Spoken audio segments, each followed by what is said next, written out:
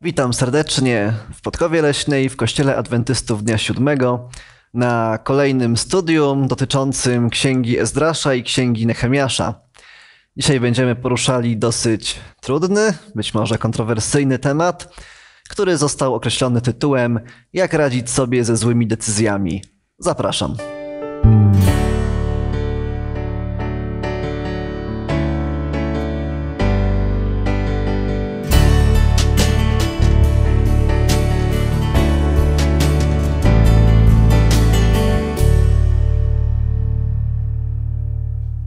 Dzisiaj w studiu razem ze mną jest Ola, Władysław i Zbyszek. Ja mam na imię Błażej, będę miał przyjemność prowadzić to studium, które zaczniemy od modlitwy z Władysławem. Nasz wielki dobry Boże, dziękujemy Ci za Twoją łaskę, za Twoją miłość niepojętą dla nas i dziękujemy, że coś tak szczególnego jest z Twojej strony w naszym kierunku. Szczególnie dziękujemy Ci za Słowo Twoje święte, które dotyka różnych problemów, jak sobie z nimi radzić i jakie decyzje podejmować. Szczególnie prosimy o Ducha Świętego, aby wpływał na nasze umysły, jak również na umysły tych, którzy będą nas słuchać, aby to było zgodne ze Słowem Twoim i z wolą Twoją, Boże. Dziękujemy za to wszystko w Jezusie naszym Panu. Amen. Pismo Święte zawiera wiele nauk, zawiera wiele pouczeń i czasami prorocy, kiedy mówili o jednym, również wtrącali róż, różne informacje objawione im przez Boga na temat innej rzeczy. E, ogólnie również wiemy, że e, mamy takie teksty, że całe pismo przez Boga jest natchnione, pożyteczne do nauki i faktycznie z, o wielu tematach życiowych i teologicznych i o Bogu możemy się z, z Pisma Świętego e, dowiedzieć.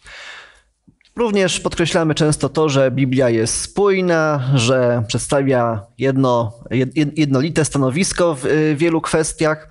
Natomiast czasami zdarza się, tak się zdarza, że czytając Biblię natrafiamy na jakiś tekst, który nie pasuje do, e, nie pasuje do, e, do, do, do całości, do tego, co do tej pory wiemy. Jak sobie z takimi tekstami radzić? Jak takie teksty interpretować? Czy powinniśmy je odrzucić? Czy może powinniśmy coś innego z nimi robić? Czy macie jakieś może takie przykłady trudnych tekstów? E, I jakie dalibyście wskazówki czytelnikowi Biblii, który natrafia na taki tekst, który wydaje się, że mówi zupełnie coś innego niż reszta Biblii? No przede wszystkim musimy zawsze pamiętać, że to jest Słowo Boże. E, są każda wypowiedź biblijna jest Słowem Bożym i powinniśmy nie kwestionować albo nie zastanawiać się, jak to mamy rozumieć. Są pewne rzeczy, które są jasno podane, a są pewne rzeczy, które E, no, wykraczają poza nasze zrozumienie, ale jeżeli coś takiego się zdarza, to nie znaczy, że możemy to w różny sposób interpretować, tylko przyjąć tak, jak to jest napisane. Poproszę, żeby ktoś przeczytał Kolosan 2,16. Niechże wasz, was tędy nikt nie sądzi z powodu pokarmu i napoju, albo z powodu święta lub nowiu księżyca, bądź sabatu. Mamy w Biblii kilkadziesiąt przynajmniej fragmentów, które mówią na temat tego, że dzień siódmy jest świętem, jest szabatem ku czci Pana Boga, a tymczasem w pewnym momencie natrafiamy na tekst, który mówi niechaj was nikt nie, nie sądzi z powodu sabatu. Czy ten tekst musimy uznać za nieważny, czy, czy może go jak, mamy jakieś metody, żeby go interpretować w inny sposób? No, jest ważny dlatego że ten tekst mówi o pewnych praktykach starotestamentalnych. Co do jedzenia, co do pokarmów, były, były to rzeczy związane z świętem Paschy, czy inne tam pewne pokarmy przyjmowane. I nie dotyczy to sabatu według czwartego przykazania. Dlatego nawet jest powiedziane sabatów no, liczba mnoga, jest jeden sabat tylko według czwartego przykazania. Żydzi mieli wiele e, takich, powiedziałbym, ceremonialnych świątecznych e, sabatów. E, Oni każde święto nawet w pewnym stopniu nazywali sabatem. Ale to nie znaczy, że dotyczyło to to, co było już od raju, to, co jest zapisane e, w, no, mm, w czwartym e, przykazaniu niezmiennego dekalogu, jak również y, pamiętamy, że szczególnie w czasie końca sabat będzie miał szczególne oczywiście znaczenie. Także tu nie chodzi o pokarmy, co czyste i nieczyste. Tu nie chodzi o sabat według czwartego przykazania. Tu chodzi o inne święta, które też Żydzi nazywali sabatami, które wskazywały na pewne czynności związane z misją Chrystusa. Zanim Chrystus przyszedł, one tylko wskazywały. No i gdy Chrystus przyszedł, już były te wszystkie rzeczy niepotrzebne, symboliczne, jak przyszła rzeczywistość. Czyli ten tekst i wszystkie inne, które mówimy o Dniu Świętym, nie stoją z sobą w sprzeczności, tylko po prostu trzeba się bardzo, trochę dokładniej wczytać y, w ten tekst, co miał apostoł Paweł na myśli, żeby nie popełnić błędu właśnie interpretacji w tą, tą niewłaściwą stronę. Ale wystarczy dokładnie przeczytać i dokładnie zastanowić się, co on miał na myśli. Czy macie jeszcze jakieś wskazówki dla interpretacji takich lub podobnych trudnych tekstów? Ja do tego bym jeszcze dodał, że apostoł Paweł miał wiele problemów e, z, z pewnymi chrześcijanami, którzy uważali, że w dalszym ciągu trzeba zachowywać te wszystkie ceremonie, praktyki, symbole, święta, nazwane często sabatami. No i apostoł Paweł to wszystko musiał wyjaśniać w liście do Rzymian i wielu innych. List do Hebrajczyków też to wszystko wyjaśnia. I, i, I dlatego takie teksty są, i niektórzy mm, może nie zdając sobie sprawy, odnoszą to do tych nowotestamentalnych, niezmiennych rzeczy. Myślę, że tutaj możemy posłużyć się przykładem Jezusa, gdzie często przyprowadzano do nich, czy sprawdzano Jezusa, podając e, trudne teksty, takie kontrowersyjne, i każda decyzja, którą by podjął, według naszej logiki by była zła, a po- on podejmował jakby trzecią decyzję, prawda? Według prawa powinna być ukamieniowana, tak? Jeśli zrobi tak, to będzie nie w porządku w stosunku do prawa. Jeśli tak, to będzie, będziemy mogli czy tak, czy tak, jakby, a on okazuje się, że wychodzi inną drogą. Też mu podawano takie trudne teksty z Biblii, prawda? Na podstawie Pisma Świętego. No i właśnie e, jeden z takich fragmentów jest zapisany w Ewangelii Mateusza, 22 rozdziale, e, jak do Jezusa przyszli Saddyceusze i e, no wiadomo, tak jak powiedziałeś Zbyszku, chcieli wybadać albo nawet podpuścić Jezusa, żeby gdzieś tam e, skom- skompromitować, e, jeżeli chodzi o jego nauki i zapytali się, e, że w przypadku jak e, było siedem, siedmiu braci, pierwszy pojął żonę, umarł i tak e, kolejny brał e, tą kobietę za żonę i e, w, i w końcu wszyscy zmarli, i w końcu ona też zmarła, ta niewiasta. I przy zmartwychwstaniu wtedy, któregoż z tych siedmiu żoną będzie? Wszak ją wszyscy mieli, a Jezus odpowiadając rzekł im: Błądzicie nie znając pism ani mocy Bożej, albo przy zmartwychwstaniu ani się żenić nie będą, ani się za mąż wychodzić, lecz będą jak aniołowie w niebie. A co do zmartwychwstania, czy nie czytaliście, co wam Bóg powiedział w słowach? Ja jest Bóg Abrahama, Bóg Izaaka, Bóg Jak- Jakuba, Bóg nie jest Bogiem umarłych, lecz żywych. A lud, który co, to słyszał, zdumiewał się nad nauką Jego. I tak chciałabym zwrócić uwagę, że y, Bóg, y, Jezus przede wszystkim zwrócił na to uwagę, że nie badacie pism i uważam, że powinniśmy badać. Jak mamy y, jakieś pytania, jakieś nieścisłości, to powinniśmy sięgnąć do Biblii, powinniśmy to przestudiować, ale jeszcze powinniśmy się spierać na moc Bożą, czyli badać z natchnieniem Ducha Świętego, czyli razem z modlitwą. I nie, nie znajdziemy też y, odpowiedzi na wszystkie pytania.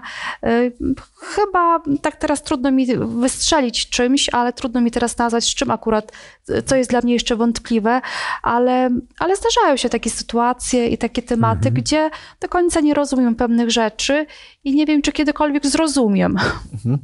Tak, tu możemy jedno powiedzieć, że e, są pewne no, mniej zrozumiałe, na przykład na, na, na temat istoty Boga i tak dalej. Wszystko przecież wiemy, bo nawet nie jesteśmy w stanie pojąć, gdyby nawet to Bóg nam objawił, ale jedno jest pewne, że wszystko to, co potrzebne jest do zbawienia, zostało w Piśmie Świętym objawione. A to, co nie jest związane z zbawieniem, no możemy powiedzieć, darujmy sobie to, poczekajmy e, w przyszłości, e, no, w Królestwie Bożym wiele tych rzeczy będzie wyjaśnione. Do zbawienia, chwała Panu, wszystko jest objawione. Dzisiaj będziemy, za chwilę sięgniemy do e, rozdziałów z księgi Ezdrasza i Nehemiasza, które będą się odwoływały do sytuacji rodzinnej tamtych, e, tamtych ludzi. I właśnie zanim, zanim tam sięgniemy, chciałbym się Was zapytać, e, jakie jest ogólne, jakie jest takie przekrojowe stanowisko Biblii względem małżeństw, względem rodziny, co Biblia mówi na temat rodziny, na temat e, małżeństwa, jak ono powinno wyglądać albo co nie powinno w nim zachodzić. Mieliśmy niedawno cały sezon dotyczący rodziny, mam nadzieję, że jeszcze pamiętacie, także z pominięciem tej księgi Ezdrasza i Nehemiasza, co Biblia mówi na temat małżeństwa. Gdybyśmy mogli tak krótko streścić. Pierwsze to, co Bóg złączył, niech człowiek nie rozłącza, prawda? To jest pierwsza rzecz. Druga rzecz to jest ta, że małżeństwo jest pochodzenia Bożego. To zaraz na początku powołał oczywiście do istnienia małżeństwa.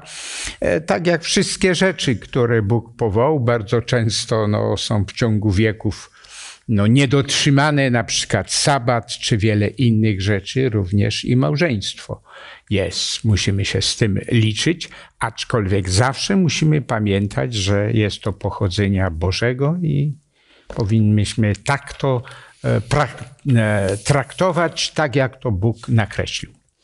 No w, w, I w Starym Testamencie, i w Nowym Testamencie jest dużo tekstów mówiących o małżeństwie. Mhm. Kwestia długości trwania małżeństwa, w kwestii też dziesięciu przykazań. Mamy też przykazanie nie, nie cudzołóż, nie pożądaj żony bliźniego swego. Jezus też niejednokrotnie się wypowiada, wypowiadał w sprawie małżeństwa, jeżeli chodzi o odprawianie żony, czy również o, w kwestiach małżeństw mieszanych też Biblia wspomina, mhm. więc naprawdę jest dużo wątków rodzinnych, małżeńskich. Księga Rodzaju wspomina, wspomina właśnie, że kiedy Bóg przyprowadził kobietę do człowieka, to człowiek, człowiek ta dopiero jest kością z kości moich i ciałem z ciała mojego. Będzie się nazywała mężatką, gdyż z męża została wzięta. I tutaj e, Adam tak podkreśla to, to podobieństwo, e, podobieństwo do jego i to jest dobre, jeżeli dwoje ludzi jest zgodnych, jeżeli jest do siebie podobnych, nie tylko właśnie tutaj fizycznie, ale też właśnie w tych dążeniach, w tych celach, będzie między, e, między nimi mniej konfliktu. I właśnie e, dalej mówi, że opuści mąż ojca swego i matkę swoją i złączy się z żoną swoją i jest powiedziane i staną się jednym ciałem. Czyli ta nierozerwalność tu jest, powiedziana, jest podkreślana od samego początku i e, później również jest kontynuowana. Chciałbym, żebyśmy otworzyli natomiast e, piątą księgę Mojżeszową, księgę powtórzonego prawa, na rozdziale 24 i proszę o przeczytanie wersetu pierwszego.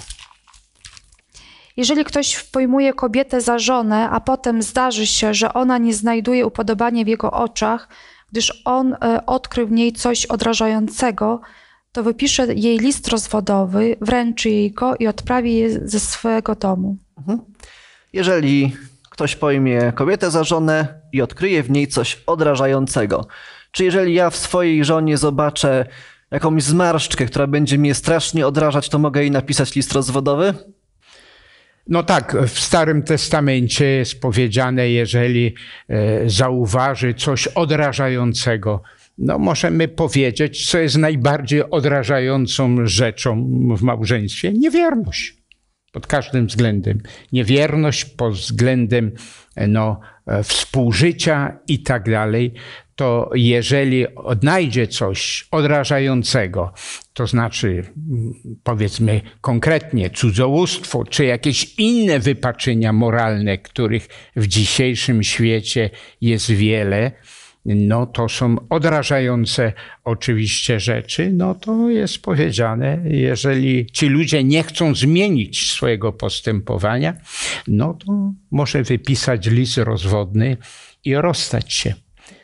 Tak, y, tutaj to słowo odrażający to nie jest przypadkowe słowo, hebrajskie erwach. Jest użyte między innymi e, w Księdze Kapłańskiej w 18 rozdziale, gdzie jest cała lista czynów niemoralnych, łącznie z jakimiś tam związkami kazirodczymi, innymi bardzo, e, bardzo złymi i wypaczeniami seksualnymi. Także e, Mojżesz dokładnie tu mówi, że jeżeli druga strona się dopuszcza tego typu niewierności, takiej, ta, taką, taką, takie odrażenie, e, odrażającą rzecz pokazuje, to, to jest, jest, jest to powód, żeby ją odprawić i tak naprawdę Jezus, kiedy mówi, że tylko właśnie niewierność drugiej strony jest powodem rozwodu, tak naprawdę powtarza dokładnie to, co, to, co, to, co miał na myśli Mojżesz. I zdaje się, że mniej więcej możemy zamknąć ten temat, mniej więcej o, e, o tej, e, o, o, o, tym, e, o, te, o tej rodzinie już mniej więcej powiedzieliśmy chyba wystarczająco dużo. Biblia bardzo pozytywnie się wypowiada na temat rodziny. Salomon mówi, kto znalazł żonę, znalazł coś dobrego i znalazł upodobanie w oczach Pana. Pij e, z cysterny, e, pi- pij wodę z własnej, z, e, własnej Studni. tak. E, Nie zapominaj o żonie swojej młodości, także jak najbardziej tutaj Biblia zachęca, po- popiera i propaguje takie dobre, biblijne małżeństwo. No i właśnie przechodzimy wreszcie do naszej księgi Ezdrasza i Nehemiasza i tego, co się wydarzyło, także zapraszam, żebyśmy otworzyli Ezdrasza, rozdział 10 i tam wersety drugi i trzeci. Proszę o przeczytanie. E, Wtedy Sekaniasz, syn Johaba, synów Elama, powiedział, e, że do Ezdrasza, my zgrzeszyliśmy przeciwko naszemu Bogu, bo pojęliśmy obce żony z ludu tej ziemi, ale jest jeszcze nadzieja dla Izraela w tej sprawie. Teraz więc Zawrzyjmy przymierze z naszym Bogiem, odprawimy wszystkie żony i dzieci z ich, e, z ich urodzenie według e, rady Pana i tych, którzy drż- drżą przed przekazaniem naszego Boga, niech to się stanie według prawa.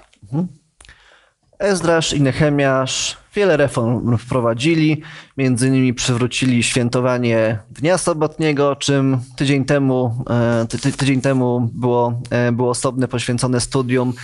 E, Odbudowali oczywiście świątynię, tak? na, na, na nowo ten cały system ofiarniczy zaczął, e, zaczął działać, wiele dobrych rzeczy. I dochodzimy do, do momentu, kiedy najpierw Ezdrasz zauważa, że właśnie Izraelici mają wiele żon z obcych plemion, no i właśnie tutaj w końcu e, inni ludzie przychodzą i przekazują Ezdraszowi swoją decyzję. Odprawimy wszystkie żony obcoplemienne i dzieci z nich urodzone, postępując według rady mego Pana. No i to, to jest tak naprawdę kluczowe pytanie naszego studium. Czy to, co oni postanowili zrobić, czy i wz- i względem tego, co przed, o czym przed chwilą mówiliśmy, o, tym, o tej nierozerwalności małżeństwa, czy to było zgodne z Bożą wolą, czy nie? Jak byście komuś przedstawili, dlaczego w tym, w w tym rozdziale akurat taką decyzję za, za, zapragnęli podjąć?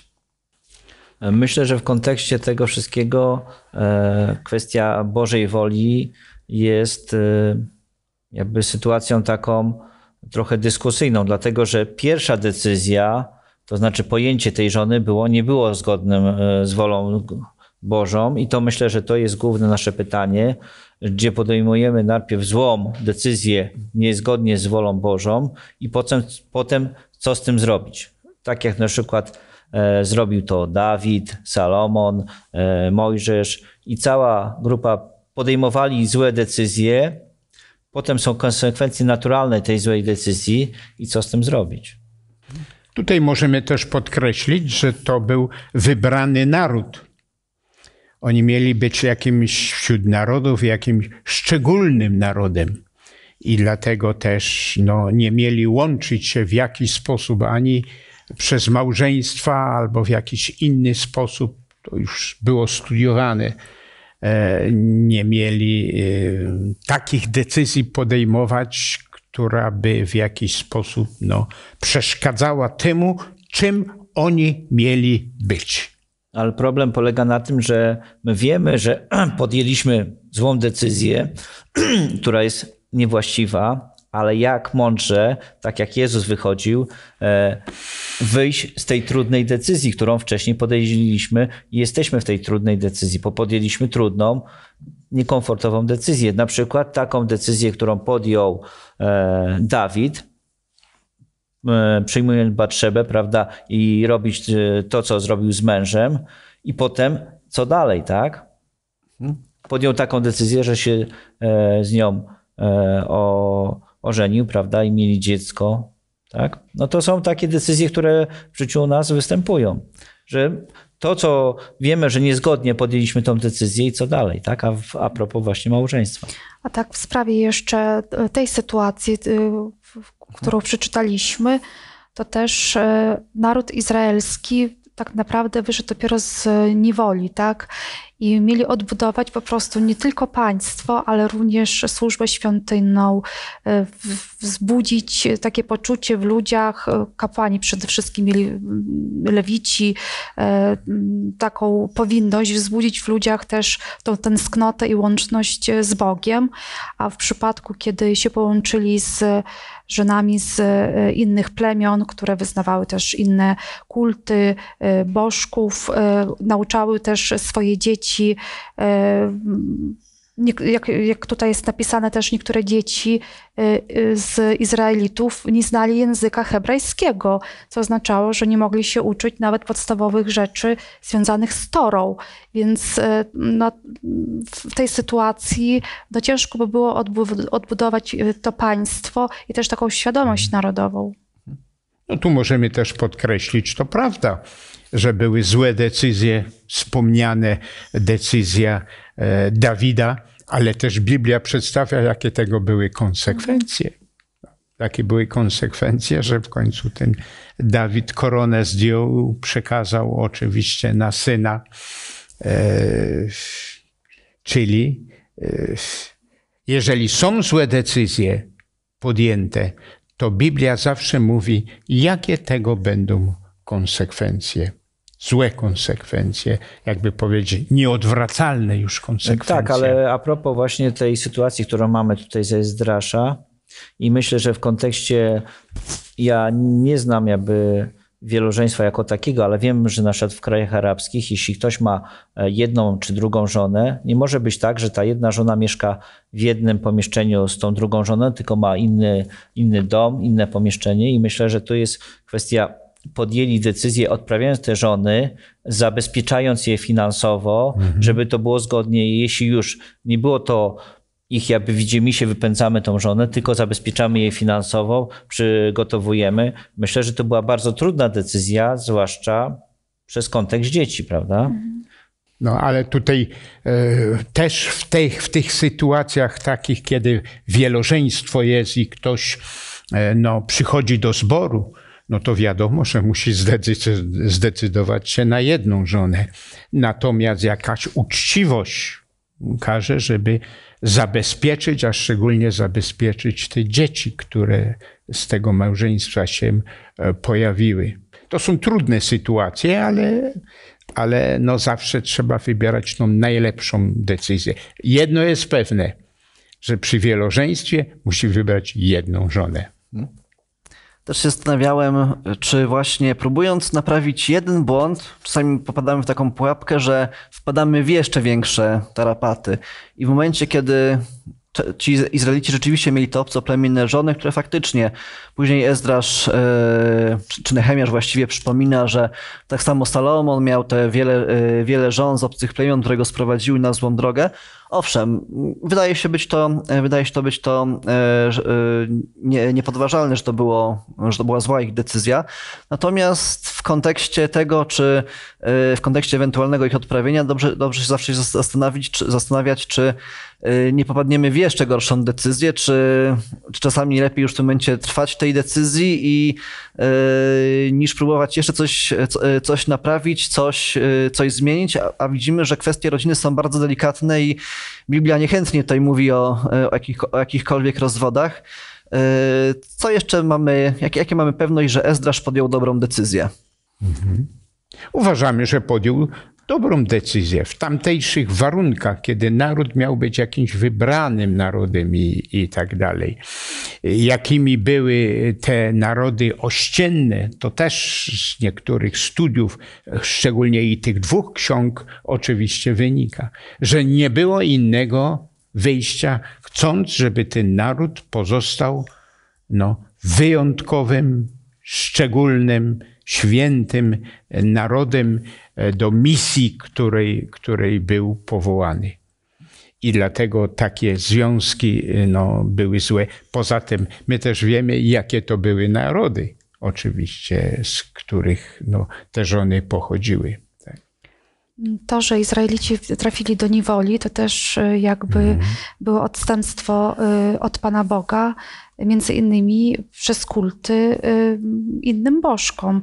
I w modlitwie pokutnej Ezdrasza w dziewiątym rozdziale on o tym bardzo tak y, pokutuje, wspomina o tym i, i mówi do Boga, że znowu w to samo jakby wchodzimy i że Boże, Ty bardzo wyraźnie powiedziałeś, że ziemia, do której wchodzicie, aby ją objąć w posiadanie, jest y, ziemią plugawioną obrzydliwościami ludów tej ziemi, którymi napełnili ją od krańca do krańca w swojej nieczystości. Nie dawajcie więc waszych córek ich synom za żonę, a ich córek nie bierzcie za żony dla waszych synów. Nie zabiegajcie o ich dobrobyt i powodzenie na wieki, abyście wzrósłszy w sile, w siłę korzystali z dóbr ziemi i mogli przykazać o dziedzictwie waszym synom na wieki. I, y, no i właściwie to była wola, można powiedzieć, Boża. Ezdrasz po prostu y, już musiał po tych złych decyzjach y, tu w szkole sobotniej ktoś wyliczył, że było to chyba ze 111 mężczyzn, którzy poślubili y, żony z innych plemion, no musieli po prostu odprawić. Myślę, że tutaj no, ja mi się rzuca taki jedna kwestia, tego, że tak mówiliśmy wcześniej, że dzieci nie mówiły w języku hebrajskim lub aramejskim. Jeśli popatrzymy przez kontekst tego, że żona była podległa mężowi i to, co chciał, jakby decydował w tym domu, to więc y, jako pan domu mógł zadecydować i miał takie prawo, żeby było to wszystko w języku armeńskim lub hebrajskim i żeby jego żona kultywowała religię jego, a wychodziło, że byli słabi i nie panowali nad swoim domem. I myślę, że to była konsekwencja tego, że nie byli w stanie panować nad swoim domem. Albo też y, kwestia mhm. tego, że im po prostu nie zależało. No, to znaczy, że nie panowali. Mhm. I możemy powiedzieć, że, że tą sprawę e, starotestamentalną, która trochę inaczej mogła wyglądać, wyjaśnił Jezus Chrystus. I powiedział, że Mojżesz ze względu za wasze niedowiarstwo pozwolił dać lis rozwodowy. Ale ja wam mówię, Chrystus mówi, moja zasada jest taka, że no, tylko jakieś wypaczenia natury moralnej mogą małżeństwo rozwiązać. Zdecydowanie wiele jest tekstów, które zakazywały Izraelitom mieszania się z obcymi plemionami. I Biblia również pokazuje te złe konsekwencje, jakie e, to na nich sprowadzało, i w tym szczególnym momencie historii, kiedy mieli odbudować właśnie życie religijne, była to bardzo trudna decyzja, ale zgodna z Bożą wolą, żeby dla dobra wyższego, dla, do, dla dobra narodu, dla dobra religii, żeby te żony odprawić. A co w dzisiejszych czasach? Czy ten przykład powinniśmy lub możemy przełożyć na nasze dzisiejsze czasy i czy również jeżeli jest związek osoby wierzącej z ateistą, muzułmanina z chrześcijanką, to czy również powinniśmy zalecać, aby taka para się rozstała? Czy mamy na to jakieś teksty albo jakieś przemyślenia?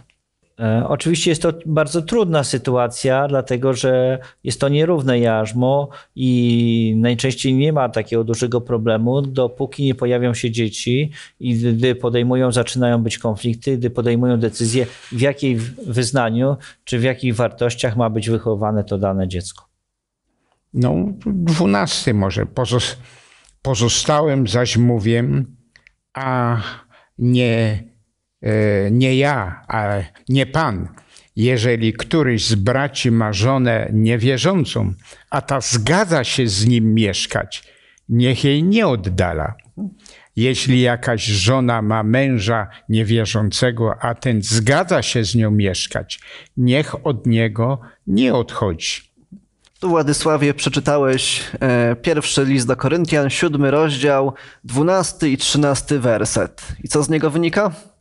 No przede wszystkim to dotyczyło sytuacji, kiedy Ewangelia jakoś potężnie e, no, rozwijała się i były sytuacje, szczególnie takie trudne, że jeden z małżonków przyjmował Ewangelię, a drugi nie.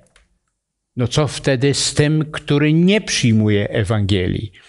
E, No, czy w takiej sytuacji należałoby tą żonę, czy tego męża, który nie przyjmuje Ewangelii, odesłać?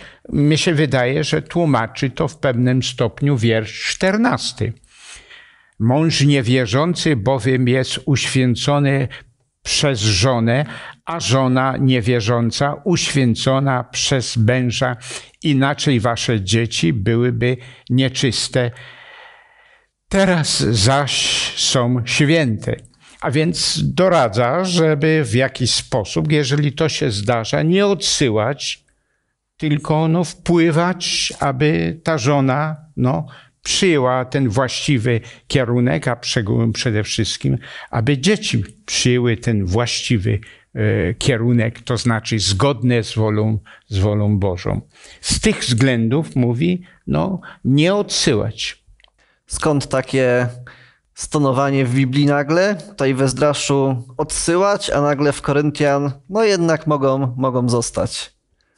No częściowo to już powiedzieliśmy, że, że naród izraelski to miał być wyjątkowy na, naród. W ramach e, narodów pozostać osobliwym narodem, nie łączyć się z tymi innymi narodami, a jakoś tak niefortunnie było, że te okoliczne narody były bardzo no, no złe. Tam Amonici, Moabici, no to z jakich związków one, one pochodziły? Kazirodczych i tak dalej. I to miało wpływ, że jakimi oni byli. I dlatego no, procy Boży tak zadecydowali, e, no, żeby jednak dla czystości narodu izraelskiego no, odesłać.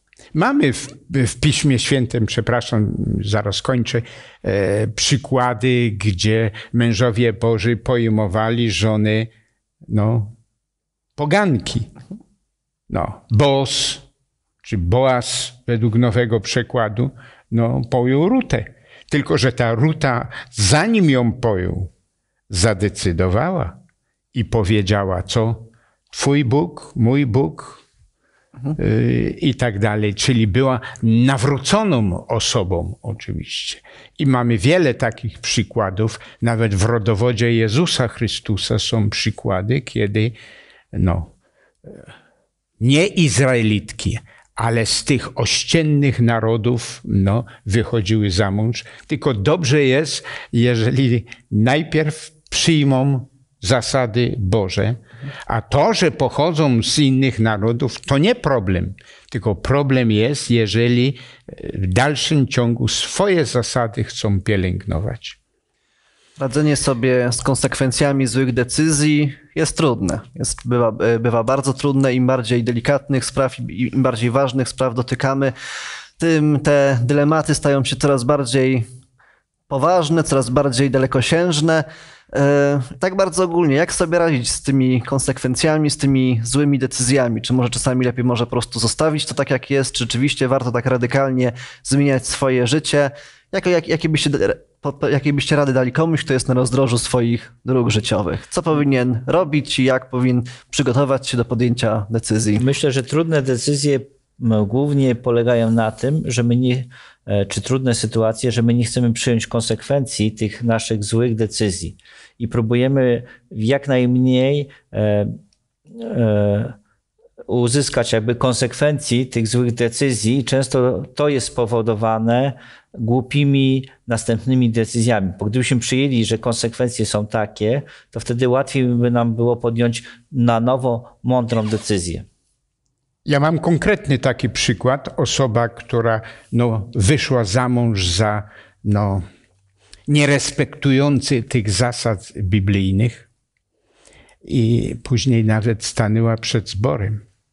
I apeluję do młodzieży, żebyście nie podejmowali takich decyzji. My mamy, nam się dobrze powodzi, yy, mamy wszystko, no jakoś tak kulturalnie nawet żyjemy, ale nie jest to właściwe. Proszę młodzieży, aby młodzież nie podejmowała takich, takich decyzji. Biorąc przykład ze mnie, że ja taką decyzję złą podjąłem. I Tobie, drogi słuchaczu, życzymy, żebyś podejmował jak najwięcej tych dobrych decyzji, żeby tych złych konsekwencji w Twoim życiu było jak najmniej. Ja wierzę, że zarówno w kwestii rodziny, jak i w wielu innych kwestiach Biblia również się wypowiada, w kwestiach życiowych, względem, uczciwości, względem przyjaciół, względem pracy. Biblia naprawdę jest przewodnikiem naszym na drodze życia i Pan Bóg chce nas ustrzec, żebyśmy w jak najmniej tych rowów przy drodze wpadali. Tego Tobie życzę, żebyś postępował zgodnie z wolą Bożą, żebyś właśnie wolę Bożą stawiał nad swoją i, żebyś i żeby to przynosiło błogosławieństwa w Twoim życiu. A jeżeli przydarzy się już coś, z czym trzeba będzie się zmierzyć, trzeba będzie się zmierzyć ze złymi konsekwencjami, to zacznij tak jak Ezdrasz, na kolanach, prosząc Pana Boga o zrozumienie, a wierzę, że On wskaże Ci, wskaże ci dobrą drogę, wskaże Ci wyjście z sytuacji i doprowadzi do tego, do czego, o czym pisał apostoł Paweł, że do pokoju powołał nas Bóg i Pan Bóg znajdzie wyjście z sytuacji. Nawet jeżeli będzie ono trudne, to doprowadzi Cię, wyprowadzi Cię, potrafi Ci On wyprowadzić na prostą drogę. Nasze studium zakończymy modlitwą. So. Panie Boże, dziękujemy Ci za Twoje słowo, z którego możemy czerpać inspirację i też to jest przewodnik dla naszego życia. Dziękujemy Ci za Ducha Świętego, który nas poucza, który nas pociesza w niektórych sytuacjach. Uzdolni nas do tego, żebyśmy we właściwych momentach do właściwego źródła się zwracali, żebyśmy uzależniali swoje decyzje, Panie, od Twojej woli. Bądź z nami i dziękujemy Ci za wszystko. Amen. Amen. Dziękuję, że byliście razem z nami na tym studium. Zapraszam w przyszłym tygodniu już na ostatnie spotkanie z księgą Nehemiasza i Ezdrasza, gdzie będziemy pochylali się nad kwestią przywódców w Izraelu. Do zobaczenia.